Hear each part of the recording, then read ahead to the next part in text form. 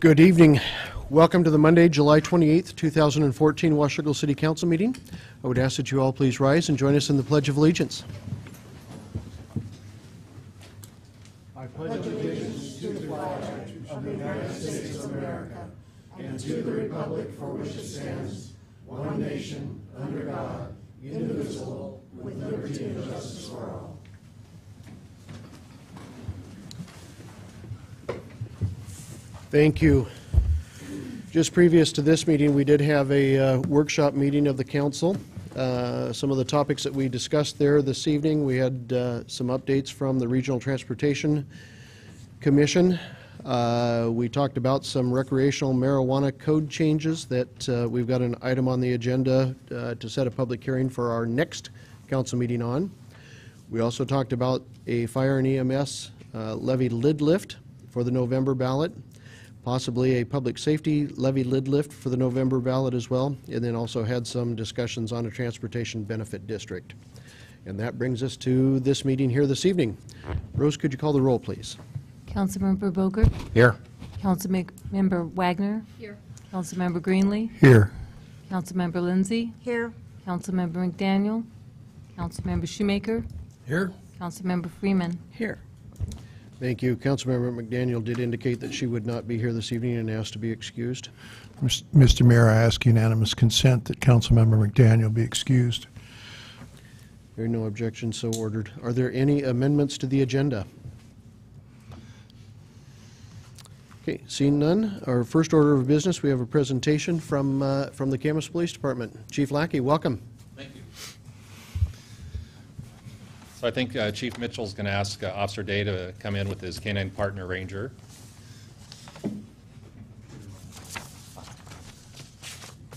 Here they come. So uh, I asked Chief Mitchell just if I could take a uh, few minutes of your time tonight to recognize uh, Officer Day and Ranger. And on July 7th, or July 7th, July 2nd, we had an armed robbery in Camas where a person went into the Seven Market down by the One Stop and assaulted the clerk. Uh, we, the person actually fled, and the car was quickly located down at the port. Uh, We do not have a canine dog, but uh, Chief Mitchell has always offered the services of Ranger whenever we needed him, and so uh, we did summon for the dog, and, and Kyle responded quickly and brought him down. So it- my story might just be a pretty typical police dog story, except for one thing, and that is, as soon as uh, Kyle uh, had the dog circle the car of the suspect, and they took off on a run directly across the parking lot of the port, over towards a big blue dumpster. And the dog circled the dumpster for a minute, and then pulling uh, Officer Day is behind him on the rope. Uh, As soon as, and they disappeared down by the riverbank. And as soon as that happened, within about five seconds, I got tapped on the shoulder by an employee of the Port of Camas Washougal. And he said, hey, I want to introduce myself. I'm the IT manager here at the port, and our video system caught the suspect when he parked and, and left his car. And I said, well, do you see where he went? And the person said, yeah. He went across the parking lot diagonally, right over by that blue dumpster, circled it twice, and went down by the riverbank. So, Well, that was exactly the path that Ranger had traveled on. And so I want to tell you that this dog is very good at what he does. Um, And so because of that, I have a Chiefs Challenge coin that I would like to reward him. Now, a challenge coin uh, for performance is something that in our office, not every officer has even earned. They're they're only earned for exceptional performance. And so we had to have one modified, so it would uh, clip on Ranger's collar, but Officer Day, I'm going to go ahead and let you pin that on him. Chief Lackey, maybe this is a challenge. You should pin it on him. Yeah. I'm smarter than that. Okay.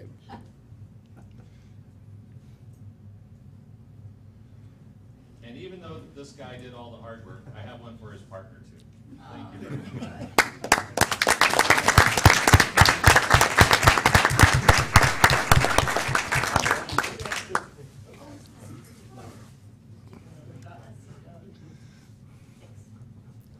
And again, uh, to Chief Mitchell, Officer Day, and the whole city council, thank you very much for the services that you help us with over in the city of Camas. It, uh, it goes both ways, no doubt about it. Kyle, Chief? Uh, we did actually end up locating, a- the Uh, yeah, so he, uh, so, so well-trained, very good-mannered uh, police dog. Uh, And, uh, yeah, we did, we ended up locating the suspect about five houses down, uh, he had ran into the water, uh, and we ended up tracking him about five houses. And, uh, ultimately, uh, as we went around the house one way, he went the other way, and, uh, our containment caught him, so he didn't, uh, he didn't get bit, we didn't have to use any force against him, he gave up, and, uh, we were able to take to custody without incident, so it's, uh, it is very, I, I appreciate that, and it is very, uh, it, it is nice to, uh, you know, follow a dog around and, and and be successful,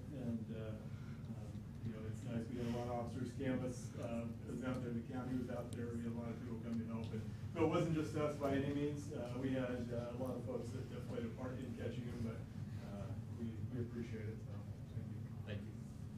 I would just like to say too, as good as the dog is, uh, a lot of the credit has to go to Kyle, because Kyle works very hard, he has a passion for doing this, and I think it just shows, uh, with his success with his former canine, uh, Dingo, and then now with Ranger, and that, uh, yeah, dogs are good and they're smart, but a lot of it is credit to, to Officer Day, and I appreciate what he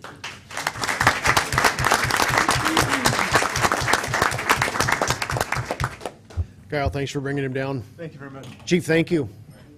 Appreciated. With that, it brings us to the first opportunity in our agenda this evening for public comments. Any member of the public that would like to comment to council? I know it looks like a lot of you are probably here for our annexation discussions this evening, and like we did last time when this came up, uh, if you've got comments in regard to the annexations and can stay for that portion of the discussion, we'll ask for those comments during that time rather than now. But if you need to leave earlier and want to make those ahead of time, you certainly can, so. Harvey, I see you, I see you moving already. Well, I can't be here in the next two or three meetings, Mayor, probably not.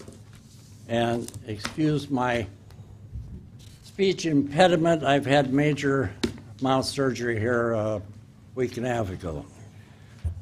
Uh, Mayor Guard, councilors, my name is Harvey Olson, 3903 R Street. I wish to thank our newest council member, Michelle Wagner, for her service to the citizens of the United States and now her willingness to serve the citizens of Washougal. Appreciate it. Thank you very much. Thank you. Now to a subject of extensive newspaper coverage, marijuana dispensaries. It is a violation of current federal law to grow or possess, sell marijuana.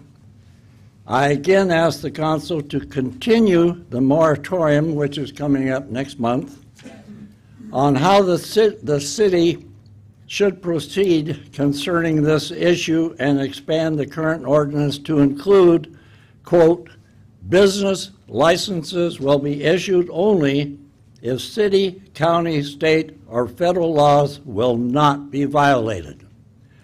Clark County and several Washington state cities currently have this wording in place. The United States Attorney General has enacted a policy of limiting the Fed's involvement in enforcing the above stated law regarding marijuana. This policy has been put in place by an unelected official, not the United States Congress. When the voters of Washington approved the sale and possession of marijuana, Washougal voters rejected it. The Washington State Attorney General has stated his opinion that our cities are not obligated to establish retail stores to sell the drug simply because this law was passed. I repeat an earlier statement I made to the council on June 23rd of this year. Quote, "A policy can change over a cup of coffee. A federal law can only be changed, modified, or repealed by the United States Congress. Which one do you consider best for Washougal? A federal policy enacted by the U.S. Attorney General, an unelected official, or a federal law passed by the United States Congress? I thank you for your time. Thank you, Harvey. Anyone else that would like to comment to council?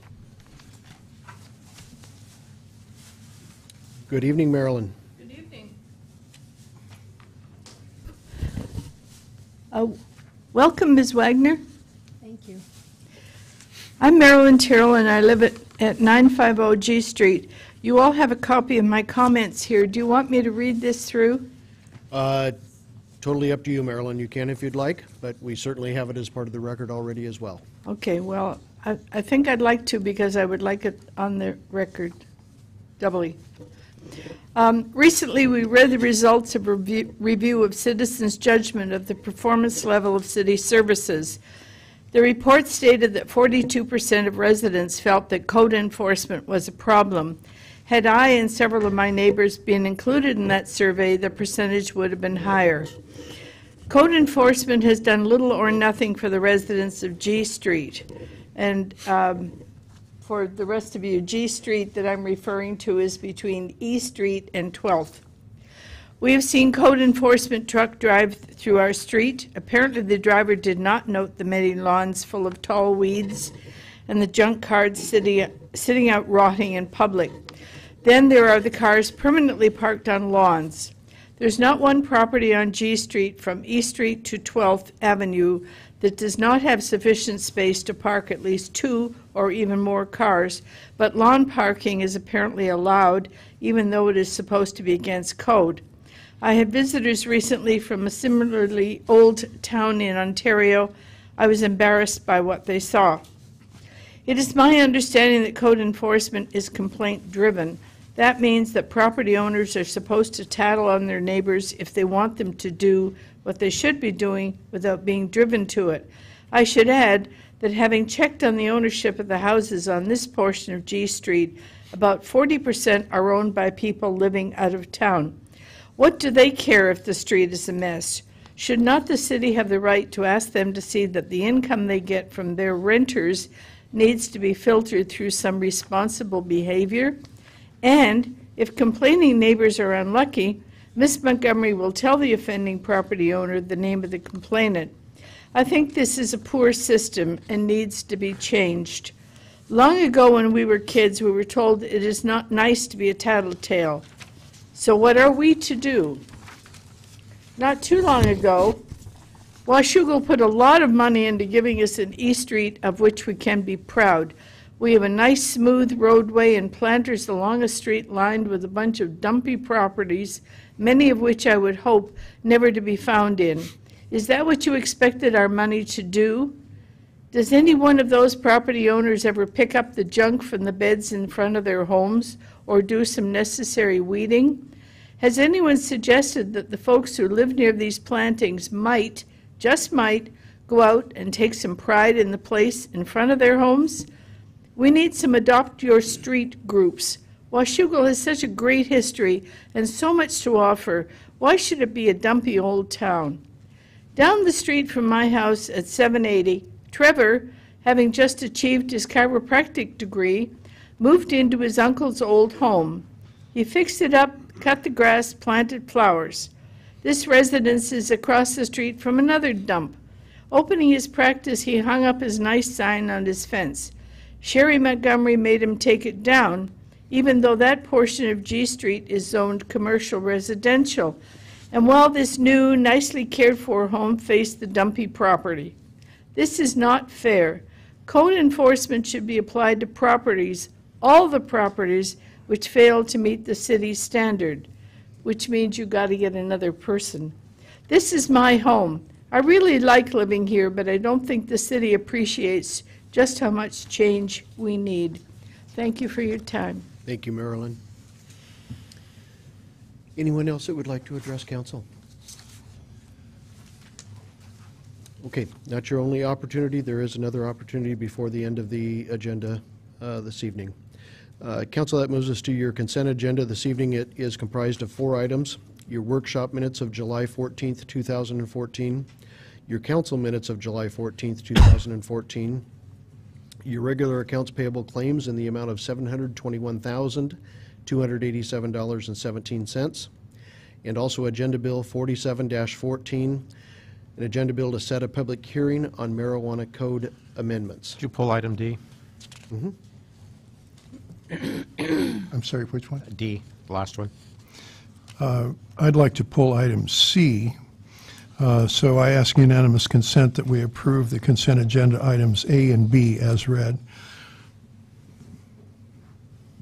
Hearing no objection, so ordered. Uh, Dave, do you want to take payroll claims or uh, vouchers? I, I, I just have a, a comment to make.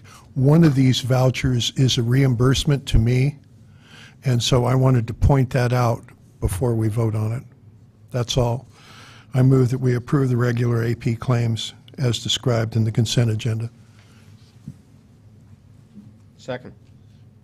I've got a motion and a second to approve the uh, voucher claims.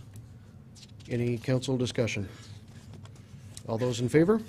Aye. Opposed? Motion carries. Thank you. Brings us to Agenda Bill 47-14, setting a public hearing regarding marijuana code amendments. Mitch?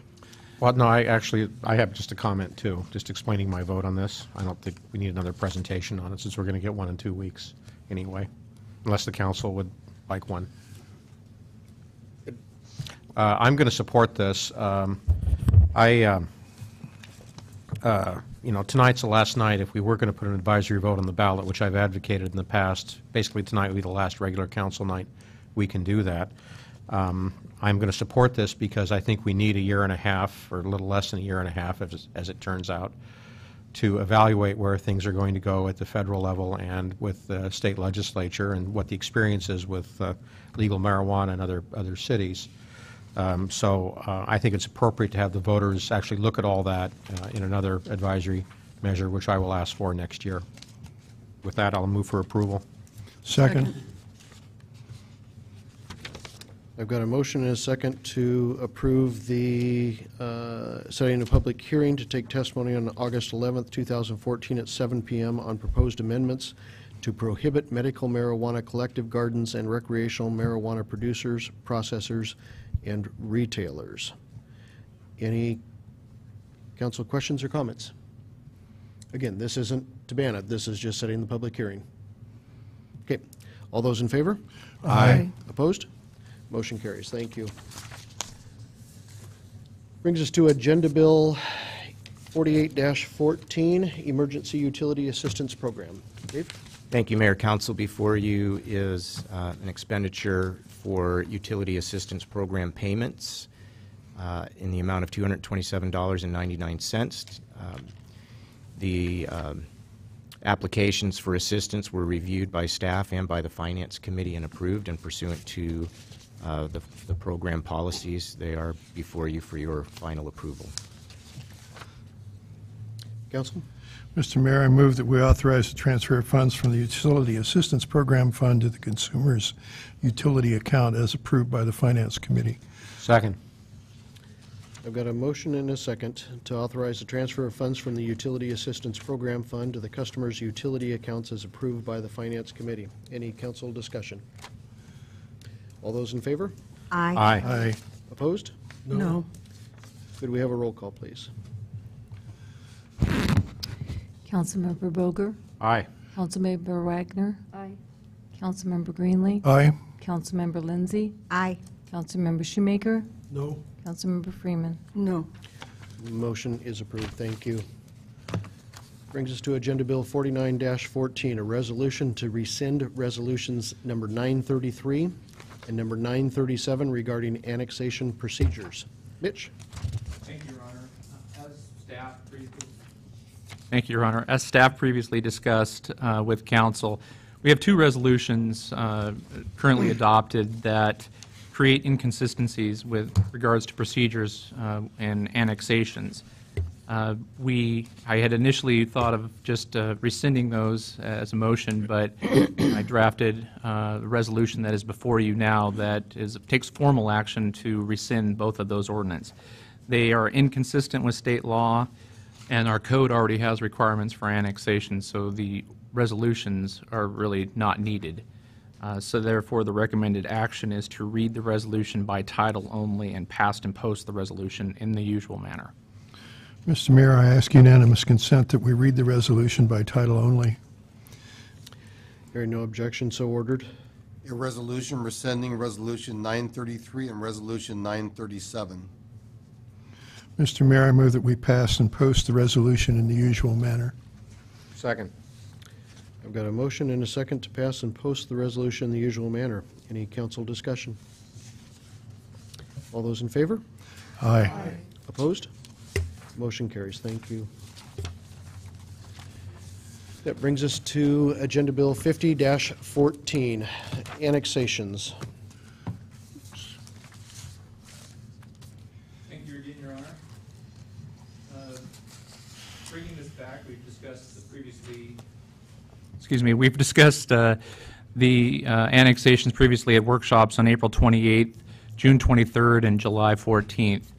Uh, Tonight is the, the meeting that council needs to take action about moving forward with regard to the proposed annexations. We have six separate petitions for annexation uh, in front of us.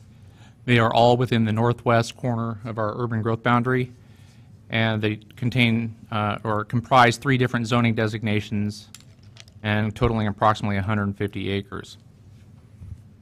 Uh, The city of Washougal utilizes the direct- petition method under RCW 35A14.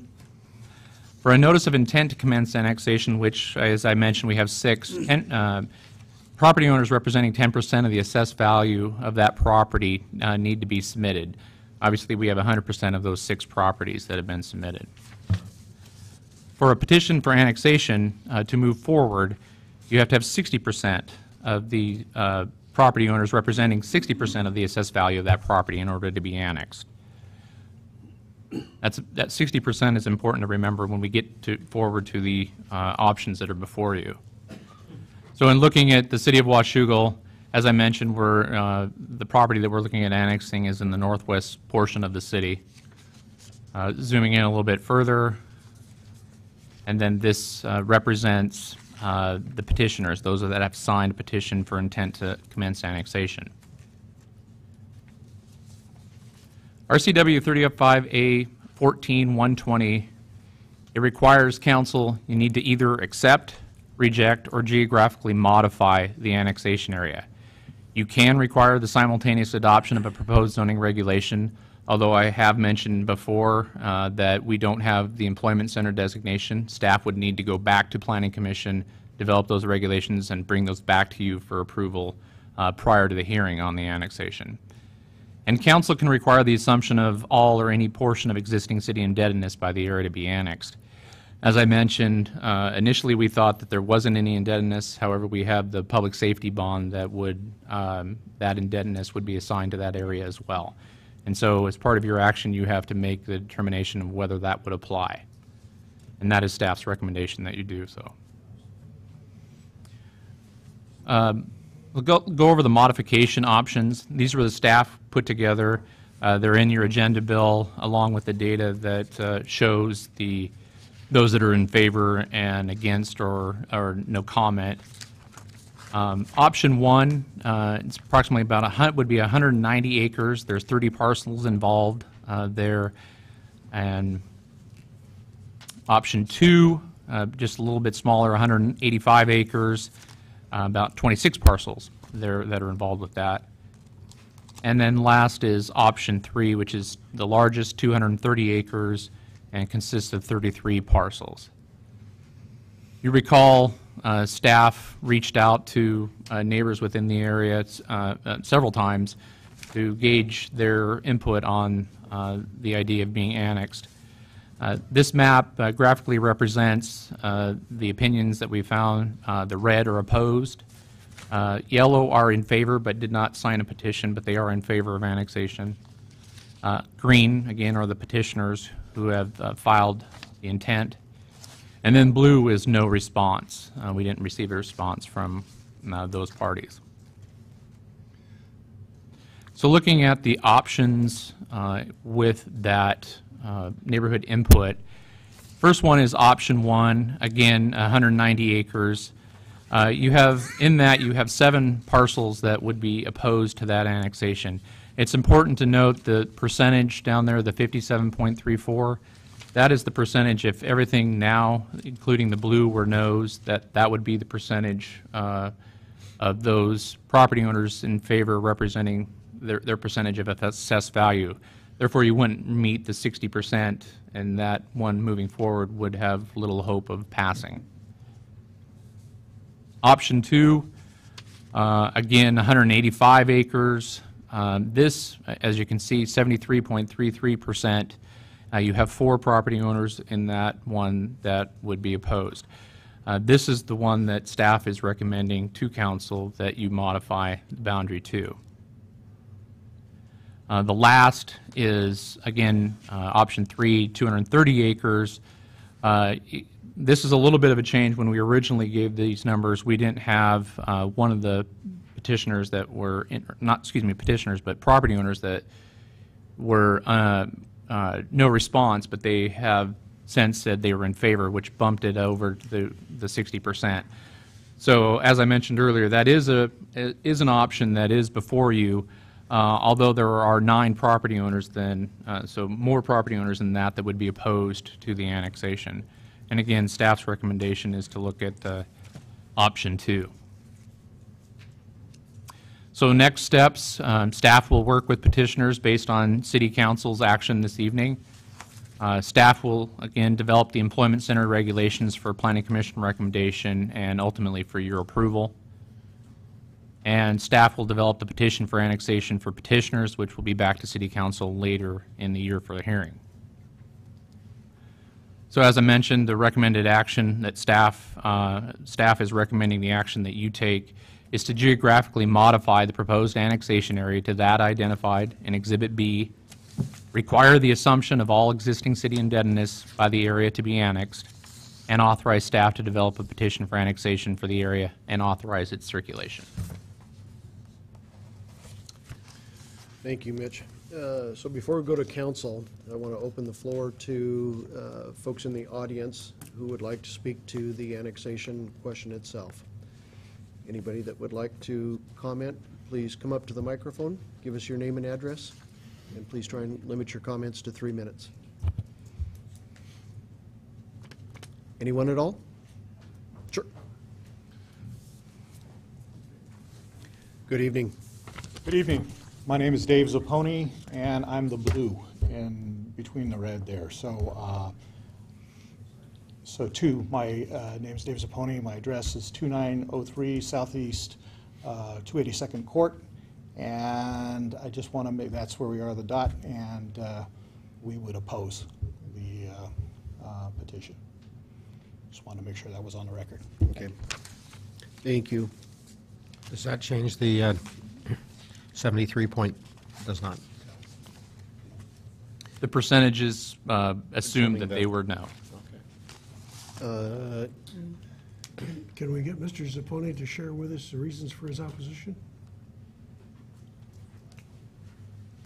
Sure.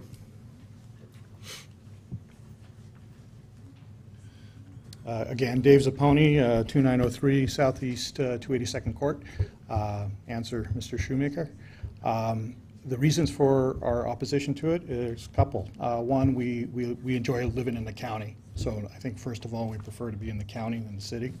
Second of all, um, the freedoms of being in the county follow our lifestyle, and we moved into the area. Uh, The other is, I think, uh, we didn't want to have the uh, additional burden that we would have, the safety uh, bond and what- or whatever the additional taxes are. So there's a few reasons why we would oppose. Thank you. Thank you. Thank you. Anyone else that would like to comment to council? Did, did Mitch show the one up to the left by the yellow? Mitch, is that what you highlighted? Because there's three blues, I want to make sure. Okay, thank you. Chief, good evening. Mr. Mayor, Council, uh, Scott Kohler, Fire Chief, East County Fire and Rescue. Um, We talked at the workshop, but uh, we were asked to come back to the, uh, uh, the full council meeting. And I just wanted to talk for a couple of minutes about uh, the impact of annexation on the fire district. Uh, Currently, under the way that uh, the fire departments work in this area, East County Fire and Rescue is the first responder to that northwest corner of uh, 23rd and Crown. So the elementary school The computer puts us as first due, uh, and that's because we are the fastest responder to that area. And uh, all fire agencies in the county have agreed that on any kind of life-threatening medical or any serious uh, property-threatening fire, closest unit will go regardless of jurisdiction. Um, So uh, we currently service the Woodburn Elementary School, which is in the city of Camas. And if you annex the area there uh, around 23rd and Crown, we will be first in, uh, first responders to the area on 23rd. Um, I think you understand that if you go from a rural designation with, uh, you know, a small number of houses per acre to, uh, uh, um, well, a, a single house per several acres, and then you go to a city designation where you add several houses per acre, uh, there'd be a significant increase in the potential call volume to that area. Um, Over the course of developing this area, uh, it presents a pretty large growth in potential call volume uh, to East County Fire. And while we have the capacity to cover that, uh, each time we respond into the city, those are costs that our taxpayers bear. And so uh, while we do not dispute the city's, uh, you know, ability or, or uh, authority to annex, what we would ask is that you consider the growing cost of auto aid and mutual aid to that area. And uh, the fire district would like to discuss with the city the options that exist to mitigate the cost for um, what would be anticipated as response into this area.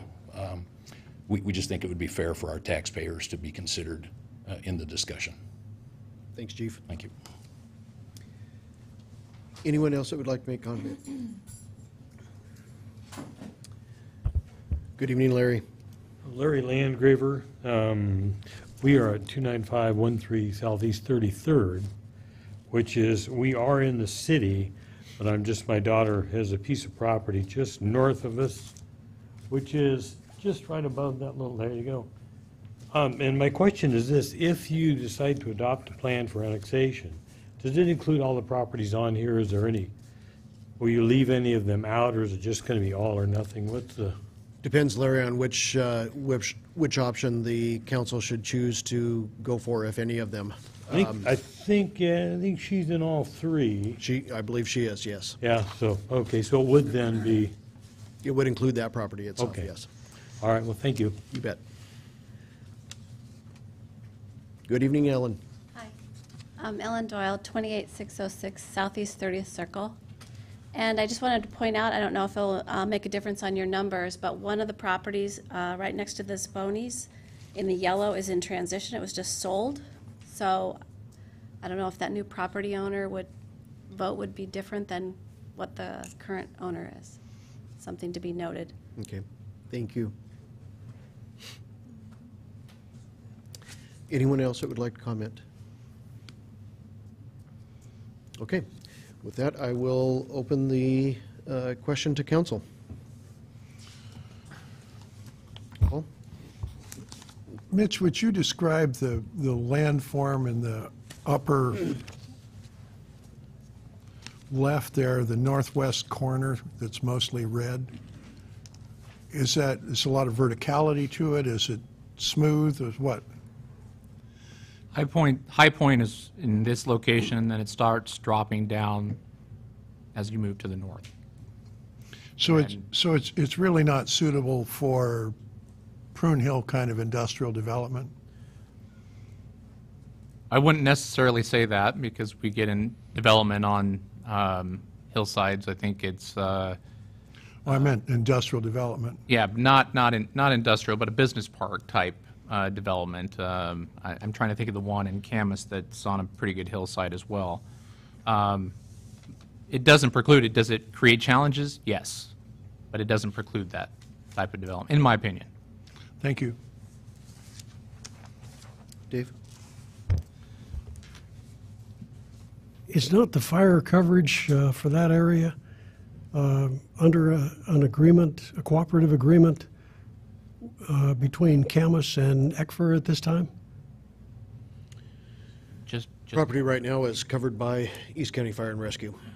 Solely? The- The ambulance services are covered through the interlocal agreement. Camas Ah, provides okay. ambulance services for all three agencies, but for fire and then that immediate first response, it's in the, uh, Okay. So then the follow-up question would be, is there any, are there any plans uh, for such discussions, because I think some of the, the uh, issues that Chief Kohler has, has raised uh, deserve our attention.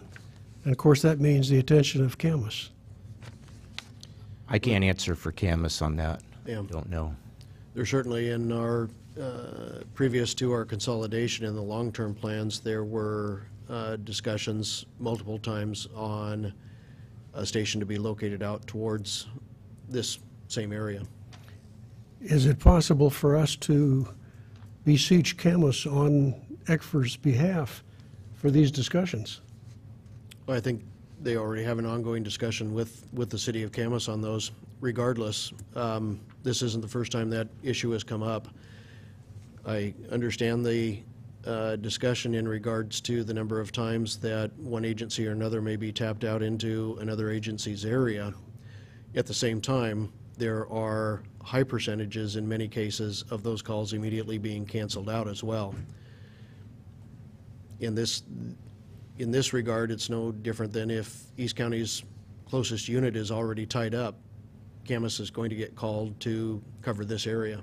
Its closest unit. That's, I don't know that we would find too many people other than budget writers that would have any problem with the closest unit, whether it's police, fire, or EMS, getting called to a particular location. You want help and you want it right now, regardless what's on it. I think it would behoove us to ask Camas to sit down with ECFR on- on this, on this issue. Talking about an issue like this never hurts and often helps. And I understand that sometimes they're canceled out and and sometimes they're not. Gary, are you already in discussions with Camas on these particular ones?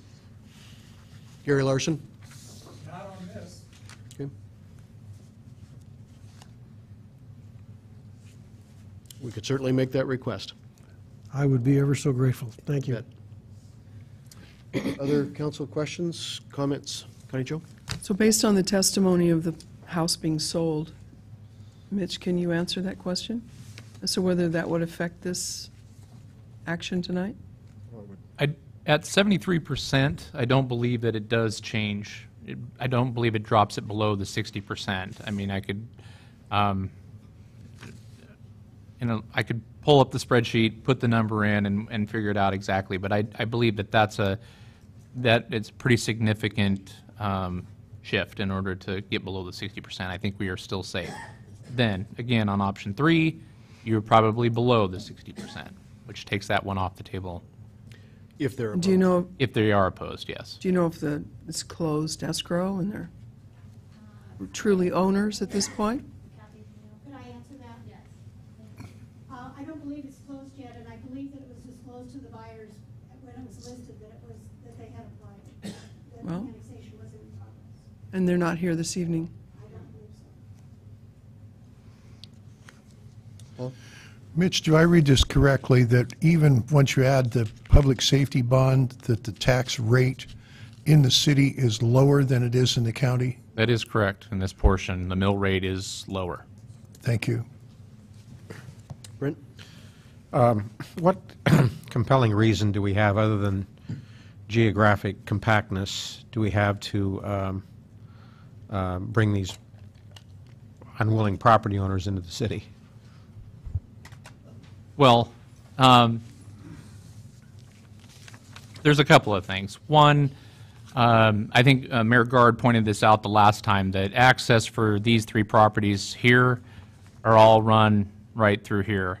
And so responders would be going through county, through the city to get to the county again. Uh, That was one reason that we looked at why these, uh, we should bring those in. Not to mention, it's a nice line coming down. Looking over here, um, you have, basically, you would end up with a jack-o'-lantern uh, look um, regarding those, moving around those properties. And, and I said this in my agenda bill, uh, but I think it's important to note that th- these properties are within our, our urban growth boundary, um, which is our urban growth boundary right now, uh, looking at the next 20 years. As part of the update uh, that we're working with on the county for adoption in 2016, we didn't ask for any expansion of our urban growth boundary, so we're keeping this same one.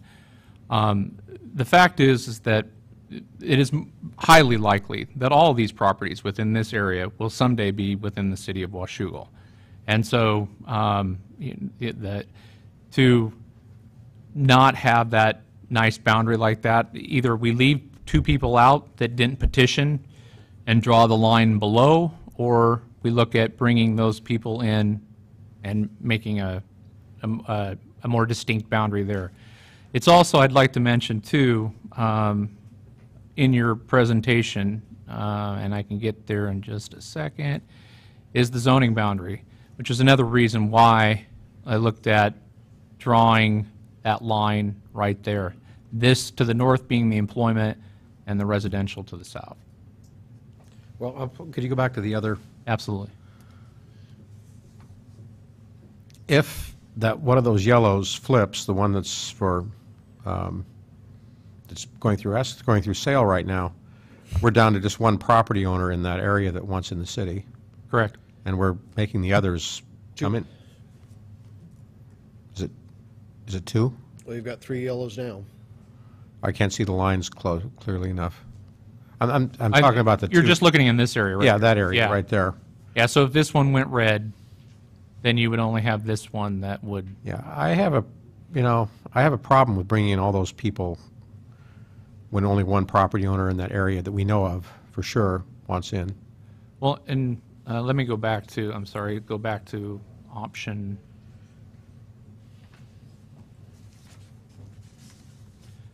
So that's the boundary that, that staff is recommending. So again, we're only looking at these, Two no, one yes. Two one no. undecided. yeah, we're, this is not in. I mean, that wouldn't be in the, in the area. It would just be these two that we'd be bringing in in this area. Okay, I can go over that. Other council discussion? Do we have a motion? Well, I move, I- I don't know what the form of the motion, I I can't find the form of the motion here. Uh, But basically, what I would like to, to move is that we accept uh, option B, or option two, uh, and, uh, and move forward with the annexation. What, what's the language I need there? You've got all three of them right there. It's on the, on the last page of the agenda, Bill? Do you not have that? Recommended actions? Oh, okay. So I would move that we modify the proposed an- annexation area to that identified in Exhibit B, that we require the assumption of all or any portion of existing city indebtedness by the area to be annexed, and that we authorize the staff to develop a petition for annexation for the area and authorize its circulation. Second. I've got a motion and a second to geographically modify the proposed annexation area to that identified in Exhibit V, option two. Require the assumption of all or any portion of existing city indebtedness by the area to be annexed, and authorize the staff to develop a petition for annexation for the area and authorize its circulation. Any council discussion? Dave? Do I understand correctly on the issue of the indebtedness to be assumed, that it is from this day forward? No. No. You're, an- this, this doesn't annex anybody, this just moves the process forward. Then from the approval of the annexation uh, forward, as opposed to payments that were due in the past on this bond? No, just, yeah, just from that, that point in time, once the property is annexed, not for anything up to this point. Thank you. Any other council discussion? Okay, All those members in favor? Aye. Aye. Opposed? Motion carries. Thank you.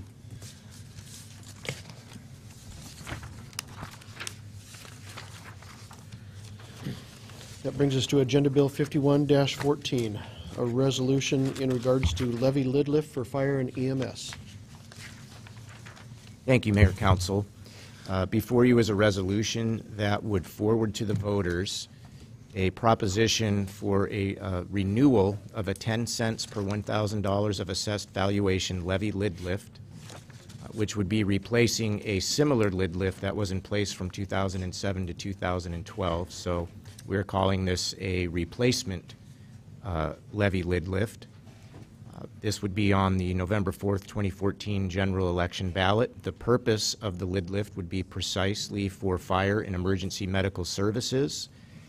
Uh, And upon its passage, the rate that would be, our tax rate would be 10 cents higher than it would otherwise be if it did not pass. The exact rate won't be known until later in the year. In the resolution, there is a placeholder rate, but it will never be more than 10 cents higher than uh, what it would have been without this lift. So the recommended action is to read the resolution by title only and to pass and post the resolution in the usual manner. Mr. Mayor, I ask unanimous consent that we read the resolution by title only. Hearing no objection, so ordered. A resolution of the City Council of the City of Washougal providing for the submission to the qualified voters of the city at their regular municipal general election to be held therein on November 4, 2014, of a proposition authorizing the city to increase its regular property tax levy above the limit established in Chapter 84.55.010 RCW for six years to provide funds for fire and emergency medical services and requesting the Clark County Auditor to place the proposition on such general municipal election ballot. Mr. Mayor, I move that we pass and post the resolution in the usual manner. Is there a second? Second. I've got a motion and a second to pass and post the resolution in the usual manner. Any council discussion? If I, if I could, I just want to have you underline one thing for me. This is for what purpose? Fire and emergency medical services. Can it be used for anything else? No. Do we have to separately account for it? Yes. Thank you. You're welcome. Any other council discussion? All those in favor? Aye. Opposed? Motion carries. Thank you. Brings us to Agenda Bill 52-14, a resolution to forward to the voters a proposition for a levy lid lift to support public safety services. Thank you, Mayor and Council. Uh, This item is for an additional levy lid lift, uh, similar to the one that you just acted on. This would be for 10 cents per $1,000 of assessed valuation for six years. Uh, In this case, the purpose would be for public safety services. And we would have to, in line with that, th- those questions, um, we would have to separately account these funds, and they could only be used for public safety services. Um, The ballot title uh, acknowledges public safety services. It is the intent of the council, as I understand it, that the primary use of those funds would be for the addition of a police officer, and that is expressed very clearly in the recitals to the re- resolution expressing your legislative intent, uh, and that uh, a small portion of the remaining proceeds would be used for other related public safety enhancements. In the case of this uh, levy lid lift, we are dealing with new services and enhanced services in the community in the area of public safety, whereas the replacement levy lid lift that you just uh, placed on the ballot is to maintain the current level of fire and emergency medical services and is a replacement. This would be new, uh, and it would be for enhanced services. The recommended action this evening is to read the resolution by title only and then to pass and post the resolution in the usual manner. Mr. Mayor, I ask unanimous consent that we read the resolution by title only. Hearing no objection, so ordered. A resolution of the City Council of the City of Washougal providing for the submission to the qualified voters of the city at the regular municipal general election to be held therein on November 4, 2014, of a proposition authorizing the city to increase its regular property tax levy above the limit established in Chapter 84.55.010 RCW for six years to provide funds for public safety services and requesting the Clark County Auditor to place the proposition on such general municipal election ballot. Mr. Mayor, I move that we pass and post the resolution in the usual manner. Second. I've got a motion and a second to pass and post the resolution in the usual manner. Um, go Council ahead, Paul. discussion? Go ahead. Uh, I'm not going to support this. Um, I believe it just, it jeopardizes the fire and EMS levy, which we really need. Not that we don't need uh, public safety, uh, more public safety dollars, but I think there are better ways to do this. And um, I think if we're going to do a second uh, levy, I would suggest doing it for streets, because I'm not going to support car tabs either when that issue comes up. So I'll be voting no. I joke about it and say I- I'm the longest-serving council member here, and my kind of standing joke is that if I had known I was going to have to be the institutional memory, I would have paid much closer attention.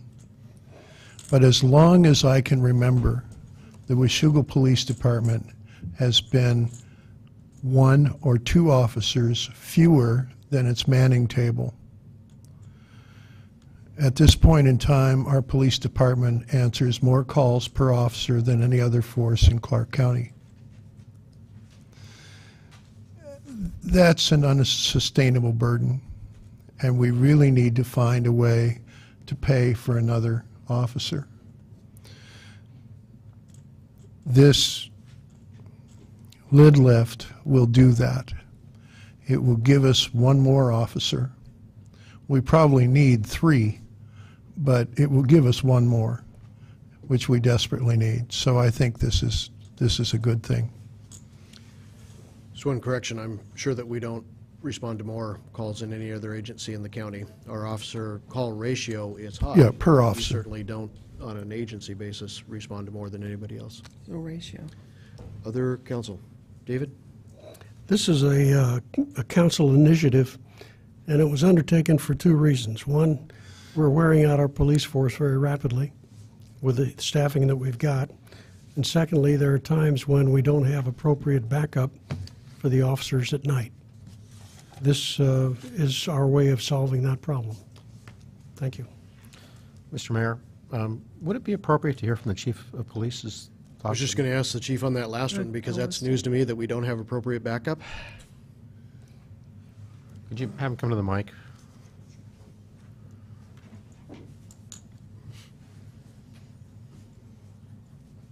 Uh, Quite often at night, we're down to two officers, um, and, and those are the times when, that's just, that is our minimum requirements. We cannot staff less than than two officers. So, uh, just, and it's also a time when we get some, uh, the nature of the calls changes to where the, you need that second, or that, that extra third body there. So, uh, to say that it's, there's no backup, it's just, there's, it's not at the level that we would like to see it, that we're used to, to dealing with uh, during the daytime. And, and- and at night, it's, it's much more complicated with the cover of darkness. And, uh, again, the nature of calls we respond to. Generally, if you're getting called out at uh, three o'clock in the morning, it's pretty serious. So, um, to have a third body there would be, improve our officer safety, yes. We do still have mutual aid with Camas as well in We the do. county. And, and, you know, we recognize that Camas is available to us, but, but That costs us money. oftentimes they're busy as well, so, and then to, uh. Doesn't cost us anything. Oh, No. All of, all of the agencies within the county are all part of a mutual aid agreement. They call, we go. you know, And, and the, the, the county would be there too, but sometimes they're down to just one person, maybe in the East County car, and if they're out, then there's really no other choices. Would you, uh, eh, uh, there's been statements that you would say your force is getting worn out, and um, is that accurate? Well, it's accurate to the point where you can only work so much overtime, and you can only work long hours. Um, Right now, we're pretty much running um, at 12-hour shifts, and sometimes the 12s turn into 13s. Uh, Our, our regular staffing is 11 hours uh, per shift, but right now, just to, to make ends meet, we're running 12 hours pretty much all the time.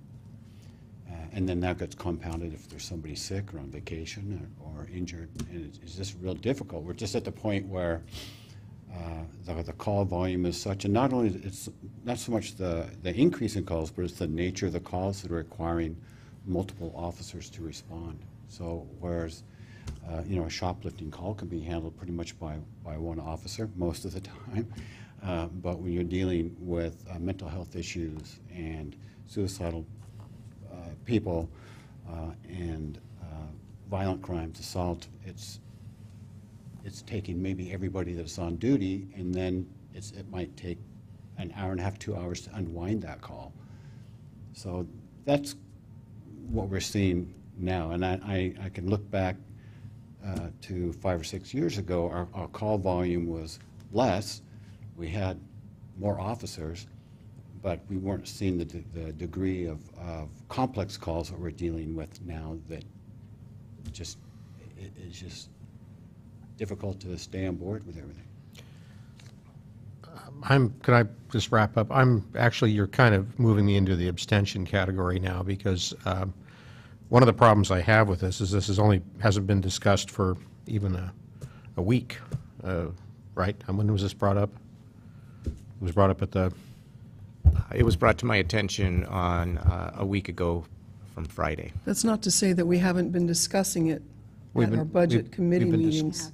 And we have discussed it at the safety Early. committee.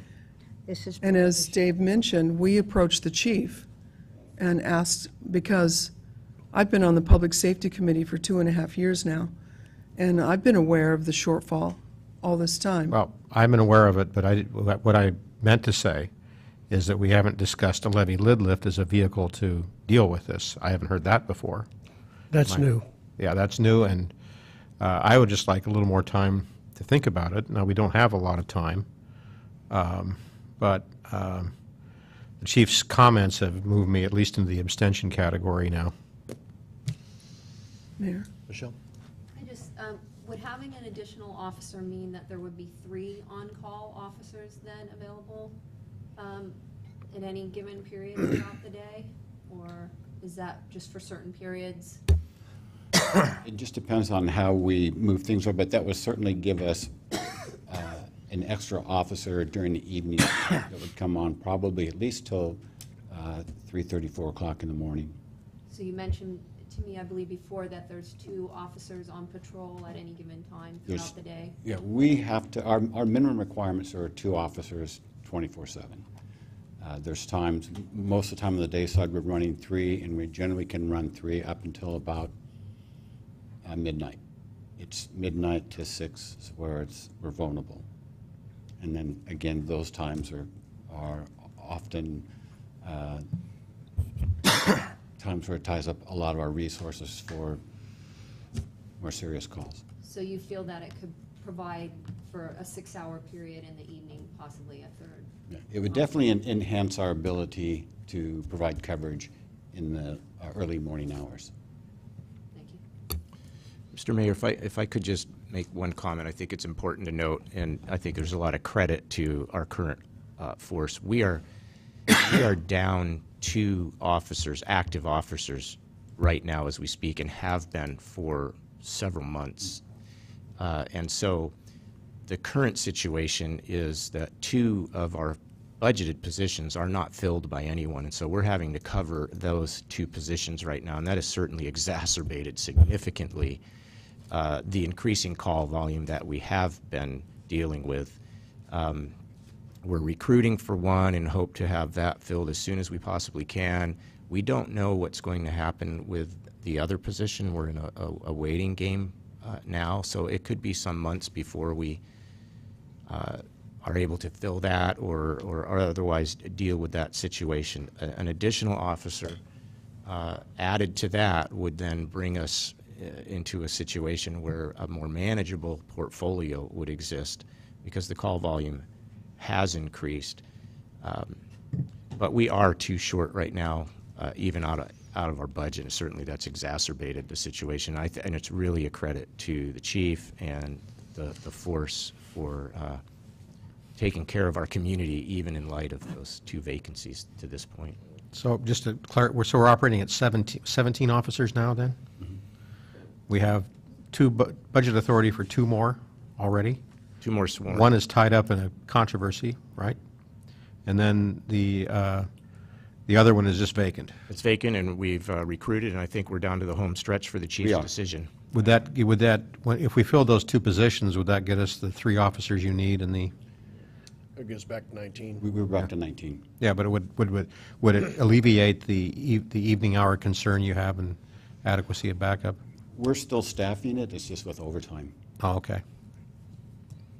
S- uh, It just, it just gives some, some t- relief. so it's going to cost us less than what an o- officer normally would cost because we'll be uh, spending less on overtime. Correct. Has that been taken into account in the, um, you know, if- if we fill these two positions? We have not uh, done any budgeting uh, to permanently fill those positions with overtime. So we are, uh, we are having to accommodate that. We have some salary savings because of, you know, the vacancies, so. you know, I want, I want to clarify the overtime, when, the way we work our schedule, if we have uh, somebody that calls in sick, we just, just to save money, we, we don't cover that whole 11-hour shift. We'll add maybe two hours, extend somebody an hour on, on each end, so maybe instead of running 11 hours of overtime, we're down to three to four. What if you have a call in the evening that requires, say, like four officers? How quickly can you get them? You have to call Camas at that point? If, if we need a, uh, something like that goes down, then, then pretty much everybody responds, so we would get everyone from Cameron. Sheriff. even County, yeah. Okay. But again, it just depends on what they've got going and uh, their, as far as how quickly they can respond. Certainly, and it's happened before where uh, we've needed uh, coverage and, and uh, Camas is out of something they just can't leave either. Connie Joe? It's the Budget Committee's opinion that if we were to go out and ask, first educate the citizens and ask the citizens, they would be the ones to get to decide.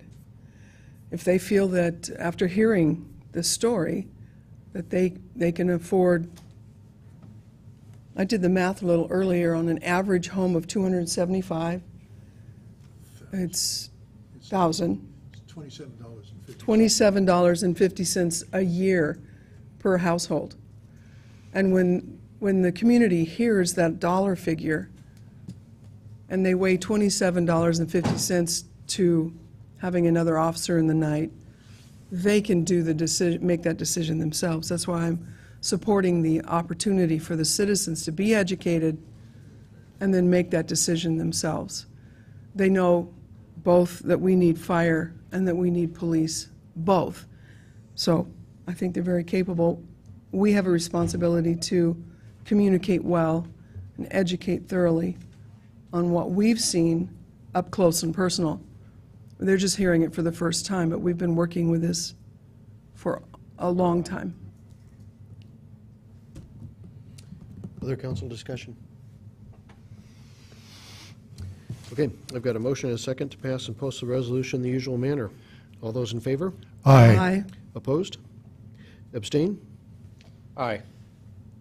Motion carries. And just because I don't think it's, I think there should have been more discussion on this rather than a- a week.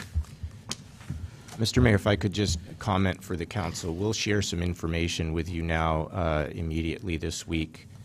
Uh, uh, Now that we're going to have uh, two propositions on the ballot, there are some um, regulations and requirements that govern how we communicate. How the staff can communicate, it's different than how you can communicate, so we, we will get that information to you so that you're reminded. I think you're all aware of that, but we'll get that information to you so you're reminded about how, how it works when we're dealing with uh, propositions on the ballot. And then uh, we'll come back eventually uh, in, in the right timing to see if there's going to be any committees for or against and all of that. Okay, that brings us to the second opportunity for members of the public to comment to council. Anyone that would like to comment? Good evening. Hi, my name is Karen Harris, and I live on 24th Street. I'm new to the, to Washougal, and um, not quite sure I remember the address, so. Not a worry. Okay. Um, And I didn't bring a copy, I'm sorry. Thank you for giving me the opportunity to speak. Tonight, I would like to talk to you about prejudice. The official definition is a preconceived opinion that is not based on reason or actual experience. We are not born with opinions, preconceived or otherwise. Prejudice is taught. It is embedded within every society, and wars are fought today because of it. Less than a hundred years ago, my ancestors were taught that African Americans were lazy and carried disease. They had to use different toilets, drinking fountains and schools. They had to sit on the back of the bus and were not allowed to vote. Women were not allowed to vote. They were not as smart as men and couldn't possibly understand man's politics. These were common beliefs not long ago. What prejudice do you hold on to? Have you actually put aside your prejudices and researched marijuana? I would hope, as leaders of this community, you can put preconceived opinion aside and educate yourselves. I read your proposal to adopt amendments to Title 18 that would prohibit medical marijuana collective gardens and recreational marijuana producers, processors, and retailers. If I read this correctly, the City Council is using its police powers to ban marijuana in the interest of health, safety, aesthetics, and general welfare of the city. I would like to examine these one at a time. Health. Medical doctors are prescribing marijuana medication to their patients, and the City Council believes that preventing patients from getting their medication locally is in the best interest of the community. If you believe that medical marijuana is a hoax, you might be interested to know that it has been used as medicine since 2700 BC and has many, many uses. It was in the 1920s that it became illegal. In fact, many of our famous ancestors grew cannabis, including George Washington, Thomas Jefferson, Ben Franklin, and Henry Ford, just to name a few. Safety. I agree that the City Council should take the community safety very seriously. I would also like to share that Denver has had a 10.6% drop in violent and property crimes. Homicides have dropped to less than half, and stolen motor vehicles have shrunk by more than a third. Aesthetics. I would like to read you a quote from a Denver citizen that worried over his property values when marijuana was legalized. Quote, These pot shops have actually turned South Broadway into a nicer area, Johnson says. The shops around the stores have been refurbished and the road has been repaved. The whole shady district of South Broadway is now looking attractive, all because of the money flowing in from the pot shops. If you choose to go out in and patronize them or not, it doesn't matter. It's better looking from the outside. End quote. The last reason stated by the City Council for applying these police powers over marijuana is general welfare.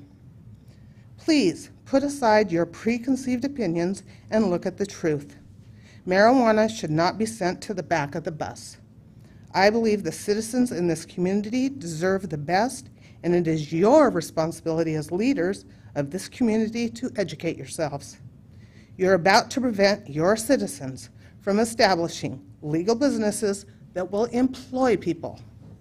You are about to prevent other businesses in the community from benefiting as they have in Colorado. And lastly, you are keeping badly needed tax dollars out of the community. I ask that you please apply your police, police powers less liberally and lead the community with education instead of fear. Thank you. Thank you, Karen. Harvey? Harvey Olson, 3903 R Street. Retired Seattle police officer for 33 years. I have talked to the council probably three, maybe four, possibly even five times on the need to have the police department fully staffed to the numbers that it was in 2010 and 11, which was 20. 2012, it was, one position was eliminated from the budget and has been ever since.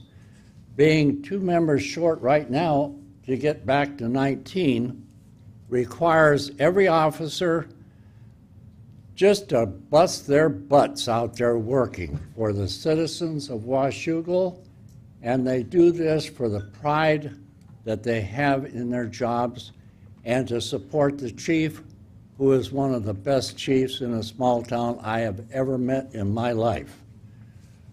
Uh, please give them all the consideration you can. I appreciate it. Uh, I know the members of the department will sure appreciate it. Thank you for your time. Thank you, Harvey. Anyone else that would like to comment, council? Okay, moving on to mayor's report, I've got a couple, three items for you. One, uh, just a quick note, sounds like we had a successful motocross this last, uh, this last weekend. Uh, One injury that I know of that came out of it, but as far as uh, police calls within the community and traffic, I heard nothing but, uh, but good comments throughout, so. uh, David and I recently had an opportunity to meet, uh, and Mitch, with uh, some of the organizers of our downtown committee. And some of that, uh, that process is moving forward. David's been able to get them some resources in regards to, uh, to documents and some help from the state level. So uh, you may well see some uh, beginnings of, of that uh, committee going on to a more formal uh, status. There is for your calendars, August 6th, there is a Fort Vancouver Library meeting in regards to the Washougal Library. August 6th, 6:30 in the evening, over in the community room. That time's been canceled. It's been postponed. Okay. Disregard that one. Uh, The final items that I have for you are in regards to the Appointments Committee. Uh, Councilmembers Greenlee and Shoemaker and I met on Friday. Uh, Sounds like it was actually a discussion of your budget meeting uh, the week before in regards to uh, filling former Councilmember Polinsky's uh, board roles. The, uh, the recommendations that are coming from the council are on the Lodging Tax Advisory Committee. The Councilman Shoemaker sit on that committee. In regards to the Ad hoc Code and Policy Review Committee, that nothing be replaced in there for this time. On the Community Development Committee, that uh, Michelle Wagner take uh, Karen's position on that committee. And I was uncertain when we were done what was happening with finance. I was taking that. I'm sorry, my understanding is that Councilmember Freeman has volunteered. Okay. By hook or by crook. So those would, uh, those are in front of you for ratification as council for your council committees. So uh, the only changes would be on Finance Committee. Uh, Councilman Freeman would sit on that committee. Uh, Councilmember Wagner would sit on Community Development. And Councilmember Shoemaker would sit on the Lodging Tax Advisory Board. Mr. Mayor, I move that we make the, the- those appointments that Councilmember Freeman serve on the Finance Committee, Councilmember, Councilmember Wagner on the Community Development Committee, and Councilmember Shoemaker on the Lodging Tax Advisory Committee. Second. I've got a motion and a second to ratify the uh, committee appointments as put forth. Any council discussion? All those in favor? Aye. Aye. Opposed? Motion carries. Thank you. Final item is in regard to, uh, in regard to your budget meetings. I'm going to pass out for council members so that you have them again. The recommendations and the information that came forth from your finance director and city clerk in regards to information from the Attorney General's office and municipal research in regards to your meetings and the substance of those meetings. I believe if what Councilmember Greenlee conveyed to me on Friday uh, happened in your last meeting, you have violated the Open Meetings Act. I will caution you again that you have information from your city clerk, finance director, based off of the Attorney General's opinion and municipal research, that your discussions at those meetings need to be limited to the budget. Only the budget. I implore you, if you have questions about that, to please contact Jennifer or our city attorney. Uh, Mr. Mayor? Yes. I, I wasn't there. Um, I was working, uh, but one of the questions I had is in what way was the, what, what was, something was discussed that was outside of the budget? Is that the The Appointments Committee. Uh, Basically, the comment was made at uh, the Appointments Committee meeting that this had been discussed and there was a path forward already. I asked Councilmember Greenlee at what meeting it was discussed, and he said the budget meeting. And I asked if they really had a discussion in regards to committee assignments at a budget meeting, and was told flatly by Councilmember Greenlee that you may talk about anything you care to talk about at those meetings. I'm here to remind you that you may not. Now, at some point, I'm assuming that we might actually get minutes for some of those meetings. If in fact it shows what Paul has indicated to me the discussions were, you have violated the state's Open Meetings Act. With all due respect, I think a careful... And, Councilmember, you did so against the advice and the admonishment of your city clerk tr- and finance director, and the advice of the Attorney General of the State of Washington and Municipal Research. As staff and administration, we cannot stop you from having discussions that you are going to have. All we can do is continue to remind you when those cross the bounds, when those get close to crossing the bounds, and when in fact you've actually violated state codes. Paul? With all due respect, I think if you read RCW, it says that only actions are limited to the agenda for special meetings. I implore you to read the email that you have that says that those meetings are special meetings, Paul. Um, I was, Ignorance does not negate the fact that you've got. actions under the OPMA also includes discussion. So that's the problem. So, items from council members. Brent? Well, on a happier note, um, we went up to um, Battle Ground uh, last week to, uh, um, actually, the mayor and the other mayors, local mayors, uh, conferred on Senator Ann Rivers a well-deserved uh, municipal uh, award. I forget exactly what the award's called, municipal uh, Municipal champion. munis- municipal champion award, and uh, was very uh, proud of her, and uh, she's come through for us, and I'm very happy to have her as my state senator. Michelle?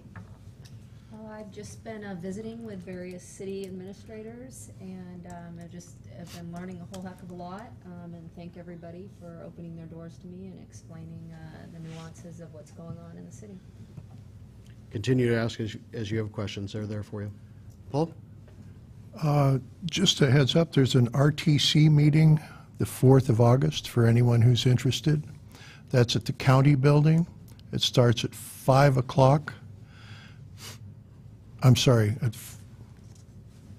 at 4 o'clock, and it's over promptly at 5:30 because the county commission has to meet in that same space at 6. Uh, Those meetings are also available on CVTV. There is a lot of visual aids that are presented in these meetings, and they do show up in the CVTV uh, recaps. Um, In the most recent meeting, there was a demonstration that was done by a previous Secretary of Transportation, and in talking about how flow metering actually moves more traffic than just dumping everything onto the system. There's this wonderful little demonstration of that. I commend it to you. It's about 45 minutes into the meeting. Also, the Association of Washington Cities has a city municipal finance and budgeting training course every year in Leavenworth in the middle of August. That training this year is the 13th, 14th, and 15th of August. The 15th is a Friday. The first training session, actually the pre-session, starts at 1 o'clock on Wednesday afternoon, and the last session on Friday is over at noon. It's about a five-hour drive from here, a little over five hours from here to Leavenworth. There is practically no other way to get there other than drive. I am presently signed up to take that training, but if there is anyone else, on council who would like to take that training, I will certainly give up my spot in order to, for you to do that. I don't know whether the, the training is full yet, but it always fills up well in advance of the actual training. So hopefully you'll think about whether you can make it to the Leavenworth for the, uh, for the training. It is, I think, the best training that AWC offers. It's, it's really terrific. The first time you go, you're a little bit shell-shocked, and it goes past you. Uh, The second time, you begin to apprehend the issues. So I just encourage everyone. That's all. Thank you. Joyce? As liaison to the port, I am on a committee that's the port development of the trails uh, from the new property that they've acquired down on the waterfront. And last week, we walked the Hamilton Port property, which is in the process of being cleaned up, and looking at the river and what's going to happen there, this is a very, very exciting thing for our city. It's just a magnificent piece of property. And yesterday, I went down and picked blackberries and made a pie. What time? Do do you have vanilla ice cream? I can bring it. You did that before it was After- cleaned up? After meetings? The blackberries are wonderful down Okay. there. Nobody's bothering. We did, uh, uh, side note on that one, we did just receive uh, a notification from Department of Ecology that the cleanup plan has been approved, and it appears that it is now scheduled for September and October of this year, so it'll be, uh, hopefully all that will be completed, and there, there are additional areas that they're looking at, uh, they intend to wrap up in those as well. And blackberries will be gone when they clean it up. Hopefully not in the cleanup portion, but the port may. Dave? Mr. Mayor, I appreciate your guidance and your admonishment on uh, the conduct of the Budget Committee. And I will tell you that I certainly will abide by the state law. I will also tell you that this is not the place to admonish the council publicly, and I, for one, do not appreciate it. I hope that in the future, you will take these issues up with us as we all take these issues up with you in private, before meetings. I don't remember having to bring up a, an issue with you in public. We do it beforehand. And often we do it with the staff to, in order to uh, be considerate of your time. Because the mayor, the job of mayor is part-time. We all know that's a fallacy. I look forward to working with you, but uh, if we're going to continue to work together, I think we're going to have to do it a little differently than we did it tonight. Thank you. I'd like to comment Dave, on that. Dave, I certainly appreciate your comments. I believe through this whole process, this staff and this administration has tried to caution the council on how to proceed on these multiple times. And again, if our understanding is correct, and it certainly has not been disputed, 10 days ago, you held a meeting that went a different direction than what that council has been. We can wait and do stuff behind the scenes, we can do all of those things. I appreciate that at times, different people appreciate the person sitting in the mayor's seat. But at the end of the day, I am here to do whatever it takes to safeguard the best interests of this city. And that includes actions when they are inappropriate. And I will bring them up in public when bringing them up privately multiple times has not proved successful. The council was in fact responding to a request from your office for input at a meeting later that day, and that was our only opportunity to do that. And we did it.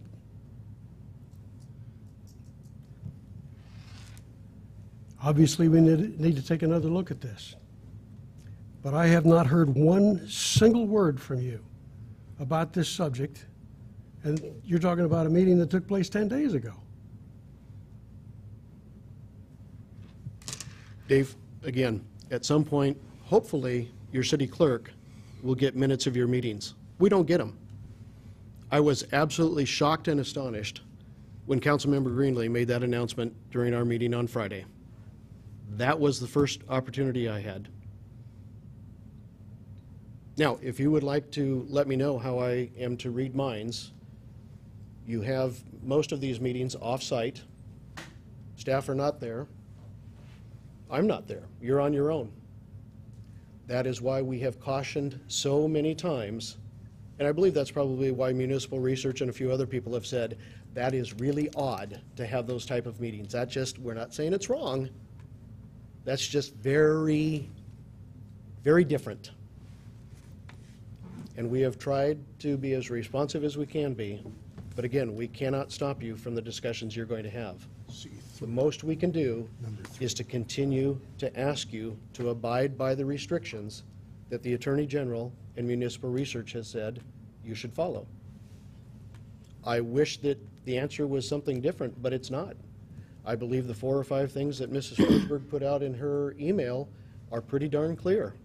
They don't seem to be very ambiguous. And I don't have any problem with them. I don't think they're ambiguous at all. And this is the first time I've seen this email. I'm sure it showed up in my box at some point, but I have four email addresses, and I check over 100 email address, or messages a day, seven days a week. So I may have missed this one. But uh, again, if we want to have a decent working relationship, a public reprimand is not the way to go. The meeting 10 days ago was here in the council chambers, and David Scott came in, and we had an extremely productive meeting talking about the budget. It- The meetings are open, anybody can attend. When we're Including the staff and the mayor. Anybody It's not by invitation to the staff or the mayor, it's, it's for open to open them, that's what I meetings. wanted to say a moment ago. Anybody can be there, and I think we very carefully have tried to keep all conversations around the budget.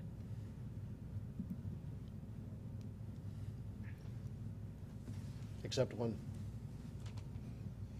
The goal of the budget meetings is to give the council a chance to dis- to discuss budget issues, something that we don't usually do except here in public session, which limits our time, and uh, it it limits the ability of each, each council member to have the time to ask the questions. We, we conduct a very, very informal budget meeting where we, we build off of each other's ideas. And it's very, very beneficial for the council. I don't think that the council up to this point, in the, in the entire time that the city council has existed in this city, has done its job of advising you of what the priorities are that the council is looking for in the budget that we must approve. We're taking steps to, to remedy that. We want to be a better partner for you, for the administration. And that's the goal. If we err, if we erred in the way we've uh, proceeded on that, we can correct that. We, please don't take the rest of the message wrong. We appreciate and we want a council that is informed and that is engaged in the budget process. Your budget meetings are legal meetings. You just need to be very cautious about what is discussed in those, or more importantly, what is not discussed in those. And that's what we're asking again. Well, um, Councilmember Greenlee showed me a statute, and it says, final disposition, and I I actually, I'm not even going to say anymore. It's your job, not mine. Again, if any council members have questions about any of this, please let Mrs. Forsberg or Don English know. The information that we're going off of is from municipal, municipal research, which those of you that have been in the training are pretty much all attorneys, and from the writings of the Attorney General's office. At an administrative level, we're not going to pretend that we are smarter than those folks who have written those opinions. We are going to try and heed their advice. We certainly do on a daily basis within the walls. Connie Joe? At the meeting on Friday, as we were proceeding in the conversation, I asked the chair, if we should be discussing this, aren't we supposed to stick with just the budget? And, um, Can I inter- interrupt one quick second? Sure. Do you have a chairman? yes, Who is it? Paul. And the chair told us that it was okay. Now, I take responsibility for accepting the word over what we'd been instructed. It's, uh, what was the comment you made, that um, ignorance is not bliss in this case? Um, His answer seemed um, logical, so I took it at face value. Secondly, I see that it says here that notes must be taken and given to the city clerk. I'm under the impression that that's been happening after every budget meeting, and that's something that the Budget Committee will address immediately and see to it that some form of minutes are turned in.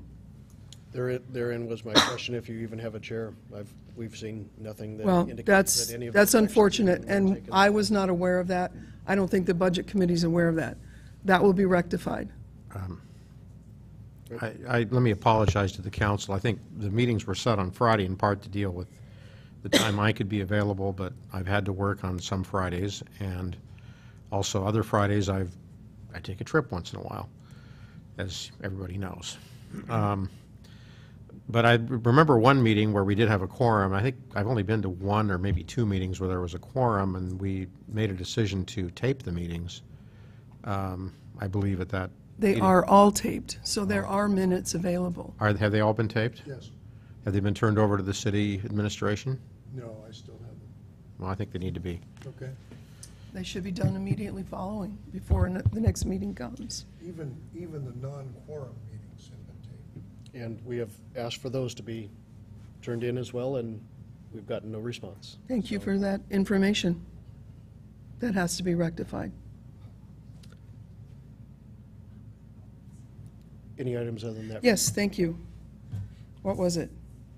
Oh, last Friday night, an excellent meeting was held at the uh, County Commissioner's office, was televised by uh, CVTV, so you have the, the opportunity to go view the East County Bridge meeting. It's being, cons- it's being, the can is being kicked down the road that we might consider a bridge here on this end of town. FIGG Designer, I don't know their exact name, FIGG Engineering, I'm not positive. Outstanding presentation. She and another company, PCL, which are the bridge builders out here on the west coast that they work with, made that presentation. I would encourage you to go and observe that in the archives of uh, CVTV, and um, we'll just see where we go from there. Thank you. Michelle? I'm sorry, I forgot to mention this before. I just wanted to notify mayor and council that I will be absent on the 11th and uh, 25th of August meetings. It was before I even, this trip was planned six months ago, before I even knew there was a position available or interviewed, so I'm hoping that they'll be excused. And on the 25th of August, I will be available for any kind of um, phone conferencing, uh, but the 11th, I'll be in transit, so unavailable. Sure. Thank Great. you. Okay, with that, we will adjourn into executive session in regards to property acquisition. I believe we anticipate action to follow? No action to follow. No action to follow, 15 minutes? Yes.